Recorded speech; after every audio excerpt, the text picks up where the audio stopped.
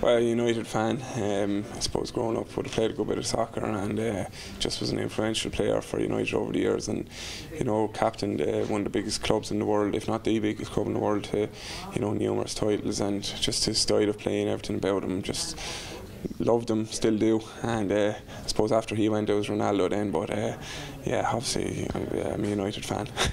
Um, you know, you'd obviously try and, uh, I suppose, lead by setting good example and things like that. So I suppose on and off the field, that's what I try and do without, you know, kind of um, giving Roy Keane the benefit of it or, or the, you know. But uh, he's, um, no, he's a guy that I would look up to hugely over the years.